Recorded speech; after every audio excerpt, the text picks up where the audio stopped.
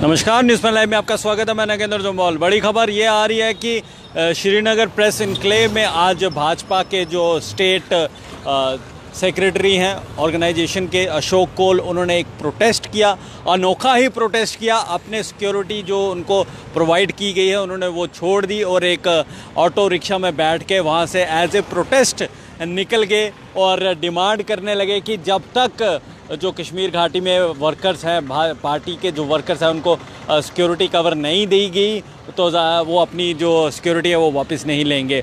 वो प्रोटेस्ट कर रहे थे, जो अनंतनाग में डिस्ट्रिक्ट प्रेसिडेंट जो थे भाजपा के गुलाम मोहम्मद मीर, जिनकी हत्या कर दी गई थी शनिवार देर रात कुछ टेररिस्ट ने उसी के प्रोटेस्ट में वो आज प्रोटेस्ट करने के लिए श्रीनगर में प्रेस इनक्लेव में आए और नारेबाजी की और अपना एक अनोखा ही अंदाज में जो ये प्रोटेस्ट किया उन्होंने, अपनी सिक्योरिटी वहीं पे छोड़ दी और वो ऑटो रिक्शा में चले गए। डिमांड यही करते रहे कि जो सिक्योरिटी कवर है, भाजपा के जितने भी वहाँ पे वर्कर्स हैं, उनको दी जाए ताकि वो वहाँ पे फ्रीली घूम सकें।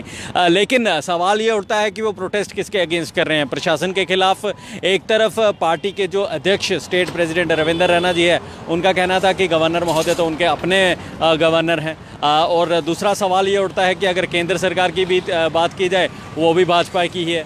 अगर ये अपने ही खिलाफ प्रोटेस्ट कर रहे हैं तो क्या उनसे ज़ाहिर सी बात है वो बात नहीं कर पाते कि हमें ऐसे सिक्योरिटी चाहिए और ऐसे नहीं? लेकिन प्रश्न ये भी उठता है कि अगर जिस तरह से उन्होंने ये प्रोटेस्ट किया है इस साफ़ तौर पर इशारा करता है कि वहाँ पे अभी भी कई लीडर्स ऐसे हैं जिनके पास सिक्योरिटी कवर नहीं है और प्रशासन को चाहिए कि उनको कवर भी देना चाहिए ताकि वो फ्रीली मूव कर सकें। अब इलेक्शन जो थी, यहाँ पे अब पिछले पाँचवें चरण की इलेक्शन यहाँ पे ख़त्म हो चुकी है।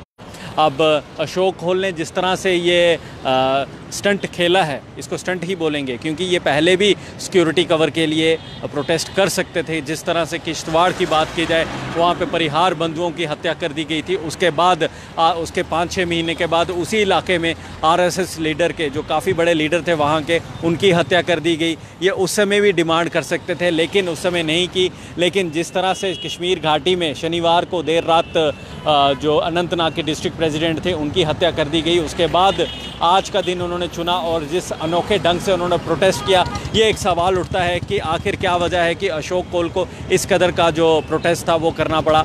हम कोशिश कर रहे थे उनसे बातचीत करने की, लेकिन उनका फ़ोन नहीं लग पा रहा था। बता दें कि आज प्रोटेस्ट हुआ है श्रीनगर घाटी में, और वहाँ पे प्रेस इनक्लेव तक ये पैदल मार्च करते हैं, और वहाँ पे अपनी सिक्योरिटी छोड़ के एक ऑटो रिक्शा लेकर कहीं निकल जाते हैं, और डिमांड करते हैं कि जब तक हमें सिक्योरिटी कवर वहाँ की जो लीडर्स हैं, जो वर्कर्स हैं पार्टी के, उनको नहीं दी गई, ये अपनी सिक्योरिटी वापस नहीं लेंगे। फ़िलहाल न्यूज़ पॉइंट में इतना ही। मुझे यानी नगेंद्र जम्वाल को कैमरामैन राकेश सरकारी के साथ दीजिए इजाज़त।